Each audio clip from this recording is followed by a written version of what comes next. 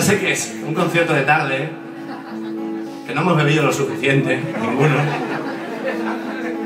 Pero es muy divertido hacer un concurso de gritos mexicanos. No sé si alguien se atreverá, puede ser que no, ¿eh? ¡Bien ahí! Aplauso para el primer grito.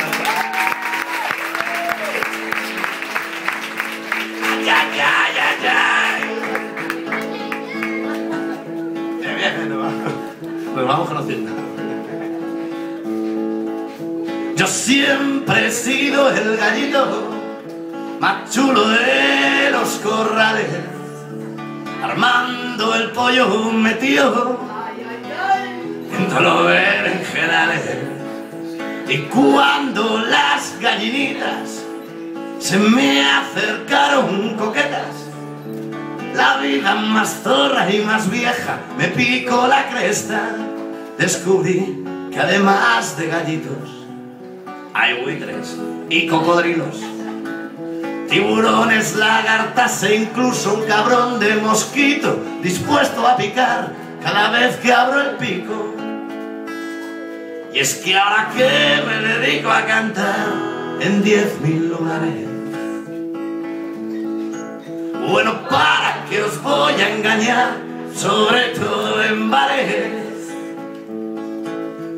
Había empezado a olvidarme de mi egocentrismo y hoy descubro que tengo un afán, pero de protagonismo.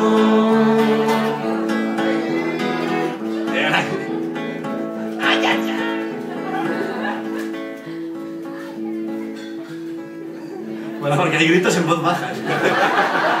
Es muy de domingo por la tarde, gritar en voz baja. Yo lo hago mucho. Ay, no.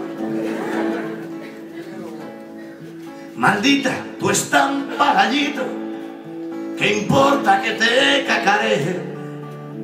Si luego al salir del garito, el día siempre amanece. Y a ti que te dicen poeta, por asumir tus pecados, dime qué harás cuando sepan que están equivocados, que el aplauso es manjar para el ego. Dime la que tengo sobrepeso. Si los gallos salen de los huevos tendré que ir a muerte con un poco de suerte. Sabe lo que merezco. Porque ahora que me dedico a cantar en diez mil lugares. Bueno, para que os voy a engañar, sobre todo en bares. Había empezado a olvidarme de mi egocentrismo y hoy descubro que tengo un afán, pero de protagonismo.